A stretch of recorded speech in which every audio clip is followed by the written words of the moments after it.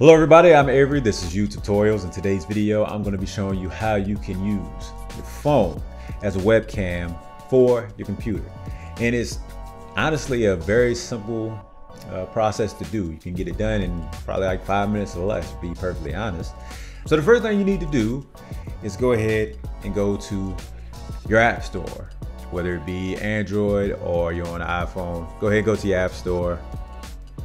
And the next thing you want to do is type in either Iriun or you can type in webcam and then search for Iriun because Iriun is the one that we're going to be looking for.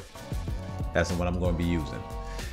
So you can see that this is the fourth one down. So I'm going to go ahead and click on that and you can see that it's already installed on my phone. Of course, you're going to have to install it on yours. So I'm going to go ahead and open it right now.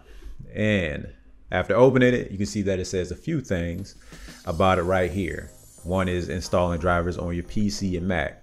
And it says that you can go ahead and download that from Iriun.com.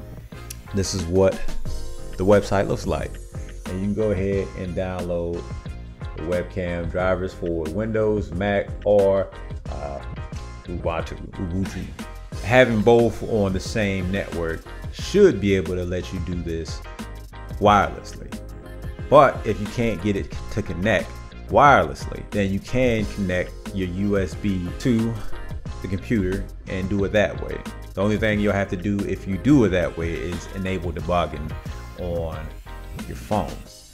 So I'm gonna go ahead and press continue here at the bottom. Now I'm getting asked if I want to allow the webcam to take pictures and record a video. I'm gonna say this time only and it also says same thing about audio and I'm going to say this time only. And now it says that it's waiting for the connection. So next thing I got to do is go ahead and open up Iriun on my computer. And you can see that says the exact same thing.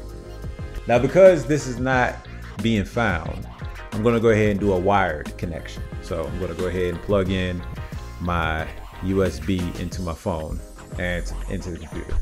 And there you have it. You can see that now I have a connection. You see it right here. I mean, you kind of see it right there. Let me go that way a little bit. You, you can see it right there.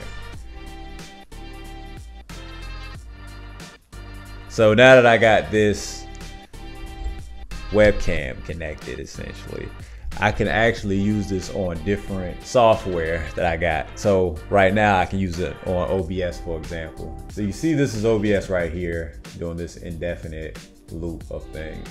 But once I go down here and add that there, you can see that I have my face over at the top left in this infinite loop of recordings. Go ahead put that up like that. So yeah, now you can see not only do I have myself in OBS right now, but I can take myself off of uh, OBS and put it on that side. So now you can see it's over here. And even though I'm still recording on this, um, what is this thing? Oh, even though you can see I'm recording on this screen right here, I still can look into the camera right here and you can see that I'm on OBS. I don't know where I want to look. I got too many places to look at right now. But yeah, that's it. Um, I'm gonna go ahead and put this down. Should have one of these, a tripod, a little phone holder that you can put up here. You know, stick your phone on so it don't move nowhere. Uh, as far as using something like OBS, you know, I honestly I use this a lot because it's one is free and then two it's it's not the simplest thing to uh, learn how to do. I mean, it's a bit of a learning curve, but at the same time, once you learn how to do it, you set it up once. I mean, you really don't have to set it up again.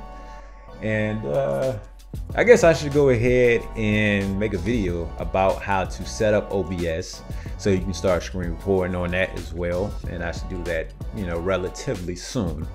So be on the lookout for that video. Also, um, if you need a tripod, I guess I should, uh, I guess I should put this one down somewhere in the description so you can find yourself a tripod and a phone holder as well.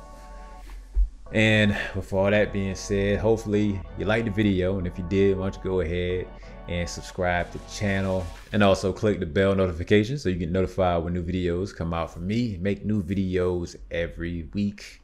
Thanks for watching.